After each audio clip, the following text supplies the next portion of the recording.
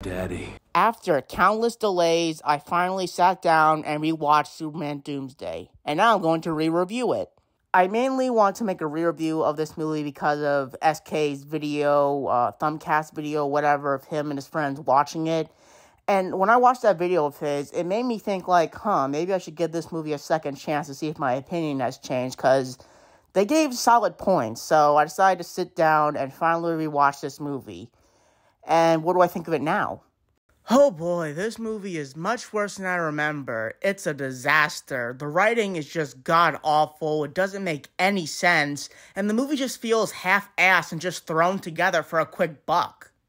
This movie is called Superman Doomsday, yet Doomsday is barely in it.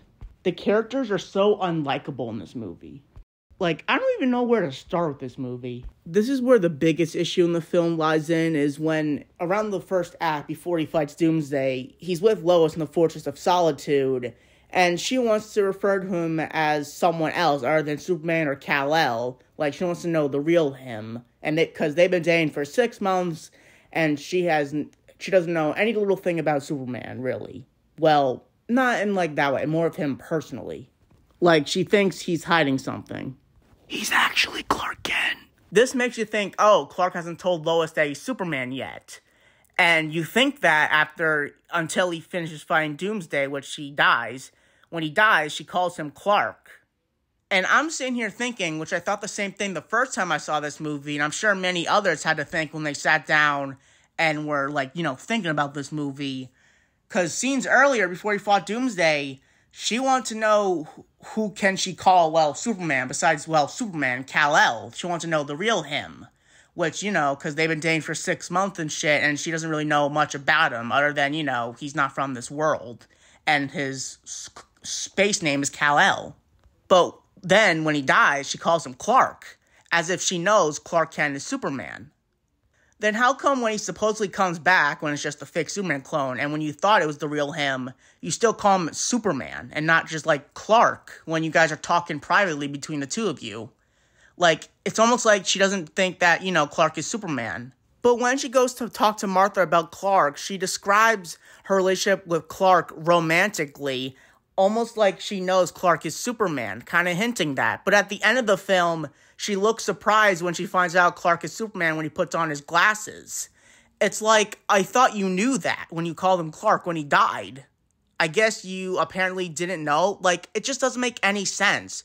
It shows you the writers just did not think this through. It's like, um, it's like for the first act, they had someone else, but then the rest of the film, when it got to whatever weird shit was going on with Superman's clones, it's like they got someone else. It's almost like this film had two writers.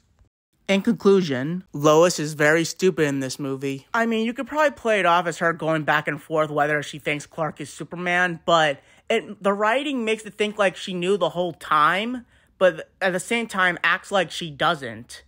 Like, it's just plain bad writing. It's like the writers forgot. It's like, again, that's one of the reasons why I feel like this film was half assed. Now let's talk about the Doomsday battle. Oh boy, the Doomsday battle when he's fighting Doomsday in front of Metropolis, like he pretty much throws him into buildings and pretty much causes massive destruction, pretty much killing civilian casualties that were inside that building. And it's not just like, oh, he throws him into a building and there's a hole through the entire building. No, like when he throws Doomsday on top of a roof, like the building entirely collapses, probably killing millions that were inside that building. Like you can't tell me the building evacuated because there were people inside the building still while they were watching Superman Doomsday fight. Like it's literally shown in a scene where Superman gets thrown to a building.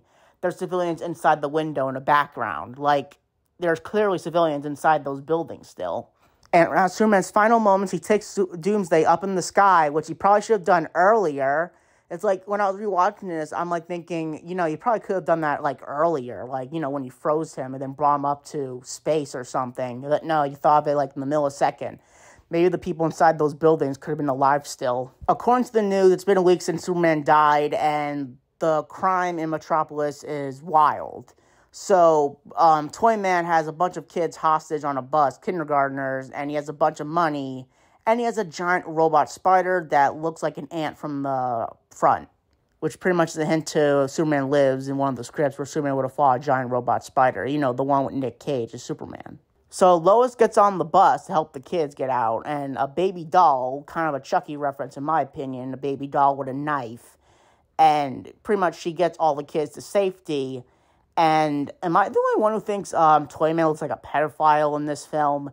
Like when the kids leave, except for one who's scared to move because of the doll on the floor, um, Toyman refers to them as my play dates. And it's like, dude, you're like in your 50s. Look at a Discord monitor the fake Superman comes in and stops Toyman, and we get a Kevin Smith cameo. He's like, lame. And I'm like, shut up, man. You're probably butthurt because your He Man series didn't do good. And scenes later, well, a couple scenes later, when um, the fake Superman clone watches the news of them bringing Toyman again, it's revealed that he killed a four year old girl. So the fake Superman clone takes Toyman and drops him to his death on a police car, pretty much crushing him, well, his bones, and pretty much he's dead and the world sees this and the world thinks Superman has changed. Little do they know it's a clone. So a couple scenes before Toyman's death, um, when we find out that the Superman that came back is actually a clone, Lex Luthor somehow got people to dig up the body and, you know, the evidence earlier in the film to find out, you know, LexCorp was never there when Doomsday came to Earth. Yeah, they somehow dug up the body of Superman and cloned him and find out a billion clones later. And apparently his plan is to make a army of Superman clones and rule the skies or whatever. It's kind of dumb. Basically, what I get of it is, oh, he wants to make an army of Superman. Is that's pretty much what he wants to do. That worked for him. Oh yeah, let's not forget the "Who's Your Daddy" scene. God, it's even more worse than I remember. Then, close to the scene where the fake Superman kills Toyman, um, we see the robot voiced by Tom Kenny um, took Superman's real body and brought him back pretty much, and you know he's trying to get his strength back. So that's why he doesn't stop fake Superman straight away until he gets sixty seven percent of his powers back, at least enough to take down the clone Superman. But he, but while Tom Kenny, I'm gonna call him Tom Kenny instead of Superman robot. So or we just call him SpongeBob. So the SpongeBob robot um, takes one of Lex Luthor's ray guns that is made of kryptonite and it could kill um, the fake Superman clone. So when he gets his strength back and wears the black suit, he takes this gun, you know, to off the Superman clone. Also, when Superman's acting out of character, the fake clone, um, Lex gives him this thing about other companies trying to discover Superman's body, and you know Lex is the one that has it. Well, he did until you know Tom Kenny or Robot SpongeBob took it back. And Lex stupidly reveals to the fake clone, you know, I created you and I can end you. So he goes to a shop or a salon, hair salon or whatever, to use his X-ray vision to see how you know Lex is controlling him, and has this little bomb planted in him or whatever, something that could you know just end the clone. And he uses his lasers to get it out and scissors to get it out. And it's on it's not shown but the way you hear the sound effects it's like ugh it's just nasty i actually remember arguing with sk in his uh, doomsday stream about it about the mirror like not melting and shit now i look at it it's like yeah he was pushing it pretty hard to melt his skin so it probably maybe should have melted the mirror but if he's like shaving and shit like you know that's not gonna melt the mirror now let's talk about one of the stupidest scenes in the movie. So it's when the fake Superman clone sees a cat from the tree, and he pretty much threatens an old lady that, like, you know, he needs to focus on real threats and stuff and not save cats from trees. You know, something Superman would not say. And he, and of course, the white cat, pretty much a Doctor Evil reference. So pretty much, you know, it's hinting that you know this Superman's evil. And the cops try to arrest him. Yes, arrest him. They try to put handcuffs on him, as if that's going to do anything. And then when the cops try to get their guns out, yes, their guns to shoot him. Yes, fucking shoot him. Like this is Superman. You guys should know Superman is as the Man of Steel. Like you, you cops should know guns do jack shit on him, even if this is a clone. Yet they don't know that. They think this is the real Superman. Like I still can't get over this scene. And then Superman, the fake Superman, uses his eye lasers to blow up the guns and the explosion is like right in their face. It's like, how did their face not get blown off? Like, half of your face should be gone. Or at least your hands that was holding the gun should be gone. Like what? Like rigid. Like he should instead we should have had it, him melt the gun, not make it explode, because their hands and their faces they're still there. Like if this was you know if this had a higher, more gruesome rating, then it would have shown that. Like this scene is just so dumb. from the cops trying to arrest Superman, from Superman blowing up their guns, and somehow the cops are just not harmed whatsoever. So, scenes later, Lois um, fake seduces Lex Luthor, drugs him, and gets the evidence and finds out. Well, she brings Jimmy along, and by the way, the side story for Jimmy is that he works for someone else now after Superman died. And pretty much we don't see him quit after the film ends. It's like like even Martha, like the last thing we see of her in this movie when she finds out about, you know, Superman killing or the fake Superman killing Toyman and like the last week we'll get mention of her is like, oh Clark, you better call your mom. Like that's it. Like we don't see her, you know, sh- shed tears when she sees the real Superman, or like she's not watching the news or anything. Like that's really the last we see of her.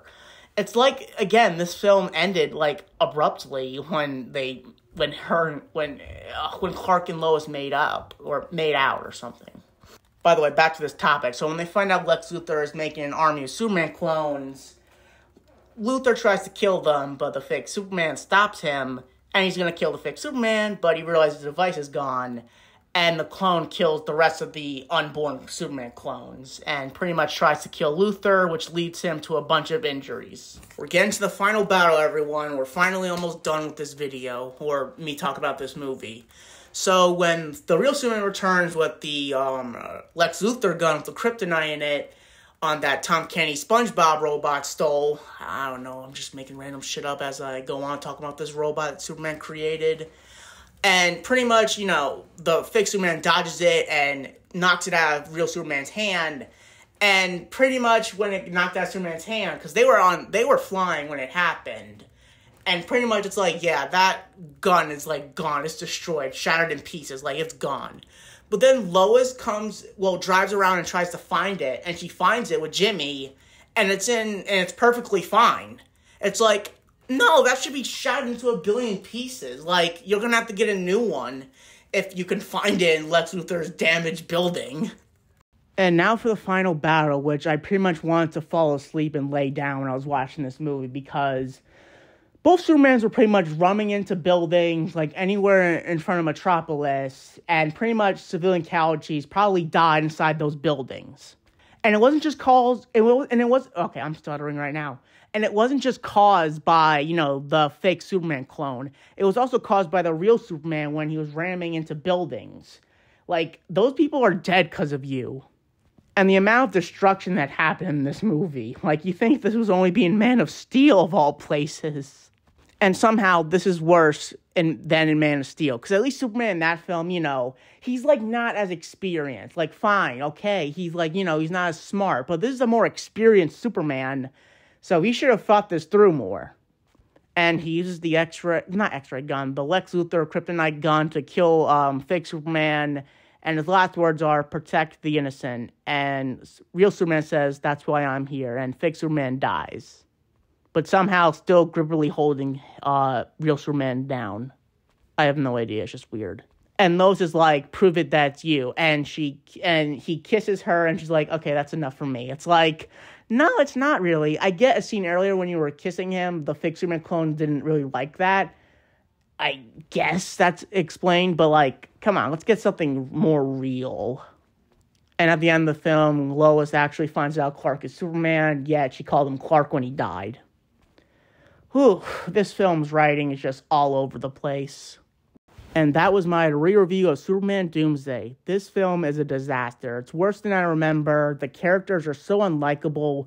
Superman is character assassinated from when he's fighting um, Doomsday and his fake clone. Like he's ramming them into buildings, killing civilian casualties. Like I don't think any of the writers thought that through, but it's pretty obvious people died inside those buildings. And it's Superman's fault for that because he should have thought this through. Especially if he's more experienced than, you know, DCU Superman at the time. I really don't understand why Lex wants to make an army of Supermans. I guess because he wants to be superior, I guess, or whatever. I don't know. Lois is kind of an idiot in this movie because she some I don't know, the writing just makes her look dumb in my opinion. The rest of the characters I don't care for in this movie. They're just like never shown again once the film ends.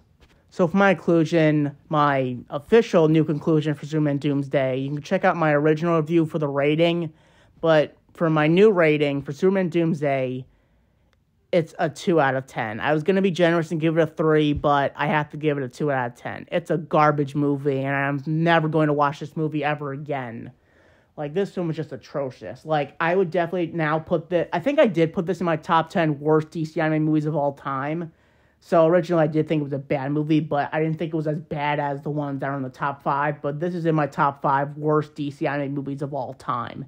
It's worse than Superman Brainiac Attacks and worse than Superman Red Sun at least with Superman Brainiac attacks, like at first I didn't understand why Superman just changed his mind not telling Lois that he's Superman. But as you know, months and well, base not a year because it's been a year, but as months went on, I started to realize, oh, it was to protect her, kind of like with Superman two. Like, yeah, like I wasn't a fan of how it was portrayed in those two films, but you know, he did to protect her. Like the Superman, those Superman care. Like that's what makes this those two movies superior than this film. So yeah, two out of ten. Thank you guys for watching. And there's a couple more DC animated movies that were moved to HBO Max, and I plan on reviewing them. And I don't plan on reviewing any other DC animated films unless it's like, unless I'm like, you know what, I think I want to give these films a second chance. But as for this film, I'm never watching this film ever again. Like I can't even get paid to do it. Like, I'm not rewatching this film ever again. It stays a 2 out of 10. One of the worst Superman movies ever made.